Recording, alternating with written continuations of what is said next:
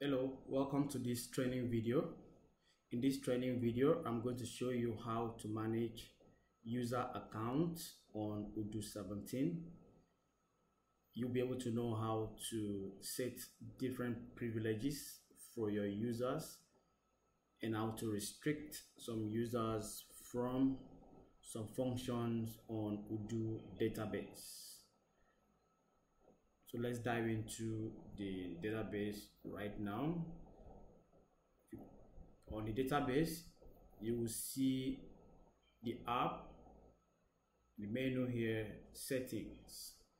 If you don't have access to this menu, that means you, you don't have the right to create user on your database. So if you have this access to this setting, so click on settings once you click on settings, you select the users or you can go to users, user and companies and then you have your users here.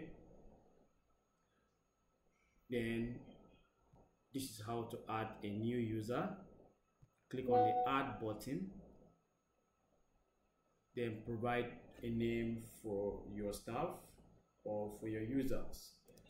I'll call this Paul Sam and I will provide the email of Paul Paul Sam at gmail.com.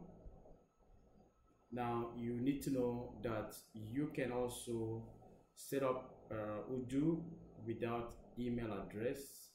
In that case, if that user doesn't have email address, and the user is not planning to send out any email to any partners, I mean customers, vendors, or anybody, you can use Paul Sam. But for this lesson, we'll leave it an email address. Okay, so if Paul is working in sales as a junior sales staff, I will come to this under this sales. I would say Paul should access only his own documents. That means Paul will not be able to see other salespeople documents, nor will Paul be able to, you know, carry out some, you know, uh, managerial work in the sales department. But if Paul is the uh, head of department of sales, I will select administrator. So the same goes for other apps if I don't want Paul to see sales app, I will select here, right? Uh, if I don't want Paul to access accounting, I will disable from accounting. And you see in accounting, there are also privileges, different level. I'm not going to be able to break down what it means, uh, but um, billing is the lowest in accounting and accountant is the highest in the accounting department. So if I want Paul to be able to create bills, create invoices, I'll just give it to him on billing. Now, so um, Paul is salesperson and is the sales uh, higher sales level. So I don't want Paul to access projects. I don't want him to see appointment. I don't want Paul to have access to inventory or perhaps I just give him users and I don't want Paul to see purchases. So if you don't want that user to have access to that module, you put it on the empty selection here. And then that's all. There's also a new app on Odoo called Dashboard. If you want Paul to have access to Dashboard to make decision, then you can add um, Paul right there. Then also, once you're done, you can click on save. Once you click on save, the system will now send an email automatically to Paul to this email address for Paul to create his or uh, his password. Then also remember if you want to set password for Paul manually, you can go to this action button and then you can change the password right here. So you have to enter the new password and you can provide a password for Paul. Then go ahead and create or click on change password.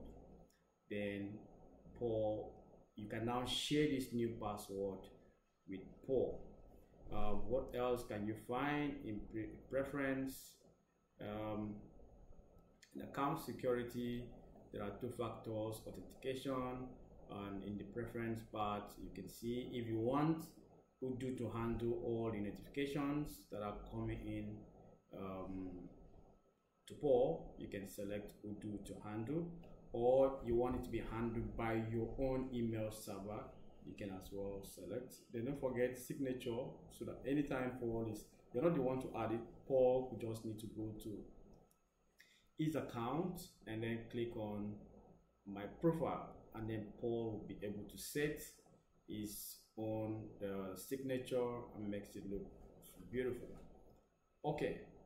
Now so that's how to create and manage new users account. So if you go back to users you see the list of users.